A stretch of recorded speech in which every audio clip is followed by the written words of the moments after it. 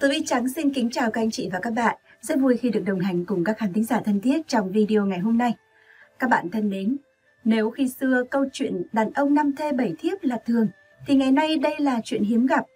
Nếu ngày xưa, khi các vua chúa có cả trăm cung tần mỹ nữ hầu hạ, thì chuyện vua chúa thời nay cũng chẳng còn ai sống như vậy nữa. Chuyện tưởng như là ngược đời trong xã hội ngày nay, ấy thế mà vẫn tồn tại. Dù bạn có tin hay không, thì người đàn ông người Zimbabwe trong câu chuyện sau đây vẫn đang gia tăng thêm các thành viên trong gia đình của mình khi ông đã sở hữu tới 16 người vợ và 151 người con. Điều đặc biệt hơn là người đàn ông này không phải lo lắng gì trong sự nghiệp làm ăn, chỉ ăn rồi làm hài lòng vợ trên giường là đủ. Đây đúng là một hình tượng khao khát của mọi đàn ông trên thế giới. Người đàn ông này tự hào tuyên bố không cần đi làm vì công việc toàn thời gian của mình là làm hài lòng vợ trên giường. Michel Nandaro, 66 tuổi, là một cựu chiến binh đã nghỉ hưu sống tại Zimbabwe, một quốc gia ở châu Phi. Trong vòng 38 năm qua, ông Michel đã kết hôn với 16 người phụ nữ và có tổng cộng 151 đứa con. Người đàn ông này tuyên bố bản thân không cần phải đi làm mà dành toàn thời gian để làm hài lòng vợ trên giường. Ông bắt đầu tìm kiếm hậu cung của mình từ năm 1983 và quyết tâm theo đuổi làm lão công đến hơi thở cuối cùng. Niandoro cho biết tất cả các cô dâu của anh đều vô cùng hạnh phúc với cuộc sống của họ và ít nhất hai người đang mang thai. Dù đã có 151 người con, nhưng ông này chia sẻ, không hề có kế hoạch giảm tốc độ sinh đẻ. Ông Nandoro tiết lộ sẽ cưới cô dâu thứ 17 của mình vào mùa đông năm nay và hy vọng sẽ có 100 người vợ và 1.000 đứa con trước khi chết. Neandoro đã tuân thủ lịch trình quan hệ tình dục 4 lần một đêm nghiêm ngặt để giúp gia đình ngày càng phát triển. Ông đã thiết kế một lịch trình cho phép ông có thể thỏa mãn ít nhất 4 người vợ của mình mỗi đêm. Tôi đến phòng ngủ mà tôi có trong lịch trình của mình. Sau đó tôi thỏa mãn vợ và chuyển sang phòng bên cạnh. Đây là công việc cả đời của tôi.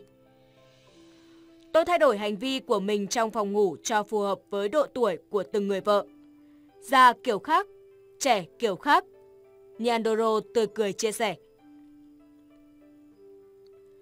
Ông được tận hưởng cuộc sống đầy đủ nhờ những người con đã đi làm, thường xuyên gửi tiền và quà cho ông.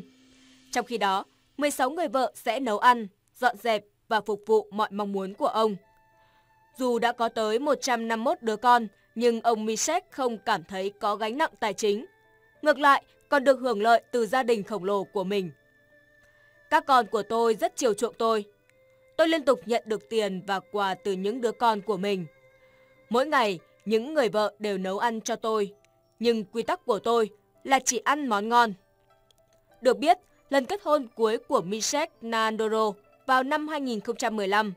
Nhưng do tình hình kinh tế phức tạp tại quê nhà Zimbabwe đã khiến màn ăn hỏi không thể trọn vẹn.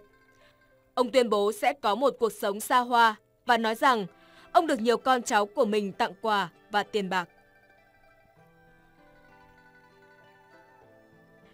Chú bò sáu chân ở khu du lịch suối Cá Thần khiến nhiều người kinh ngạc. Hình ảnh chú bò ở Thanh Hóa mọc thêm hai chân ở trên cổ khiến nhiều người không khỏi ngạc nhiên. Mới đây, nhiều người khi đến du lịch tham quan suối Cá Thần ở xã Cẩm Lương, huyện Cẩm Thủy, Thanh Hóa đã vô cùng bất ngờ khi chứng kiến một con bò có tới 6 chân được nuôi nhốt tại đây.